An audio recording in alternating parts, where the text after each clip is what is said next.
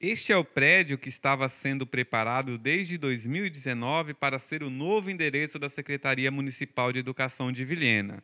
Mas agora vai funcionar um núcleo de atendimento multiprofissional. Um dos motivos é a falta de espaço para comportar todos os servidores. Mas esse prédio realmente é, já tem algum tempo né, que está sendo utilizado, né, através, nós estamos guardando as nossas, os nossos produtos que estão, estão chegando, né, aquisição, carteiras novas, geladeiras, freezer, que foram já distribuídos para as nossas escolas do município. Saíram até algumas matérias, isso lá em 2019, de que aquele prédio ele era alugado. Isso confere? Então, Joel, eu, eu, eu posso responder né, no, no, na minha gestão hoje, né? Que eu estou aqui em 2021, né, em janeiro de 2021, que eu iniciei aqui na Secretaria Municipal de Educação. Mas é, pelo meu conhecimento, nunca ele foi alugado. Né? Muito pelo contrário, nós estamos, a educação está crescendo tanto que nós estamos com pouco espaço. E, inclusive, está sendo utilizado para guardar né, os nossos produtos né, que estão chegando, que, serão, que, estão, que foram já distribuídos para nossas escolas. O prédio estava sendo utilizado como depósito e agora vai ser preparado para a utilização do núcleo como explica a supervisora municipal da educação. Vamos aproveitar esse, esse espaço que já tem, que é nosso, né, da Secretaria de Educação, e vamos montar o NAM lá. Nós já estamos em construção das divisórias, fazendo a compra do material para as áreas afins, né, no caso fono, psico e psicopedagogas.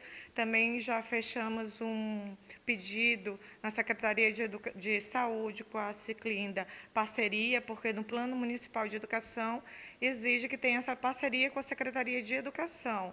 É, psicólogo clínico, fonoaudiólogo clínico, terapeuta ocupacional, assistente social. Essa é a parceria com a saúde para que esse núcleo possa vir atender. Serão atendidas crianças com déficit de atenção, dificuldades de aprendizagem, entre outros. A expectativa é de atender o maior número possível de alunos da rede pública.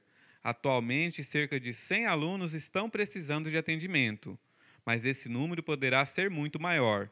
Os atendimentos serão em dois turnos, manhã e tarde.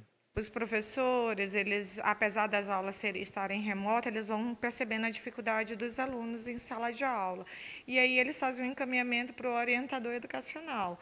O orientador repassa para mim e eu vou distribuindo para o fonoaudiólogo, para o psicólogo e para as psicopedagogas.